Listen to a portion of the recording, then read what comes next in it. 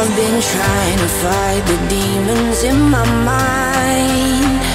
I'll prevail with every battle if I'm right. Guess my aim was off, the target's out of sight. Would I be better if I left it all behind? Cause we can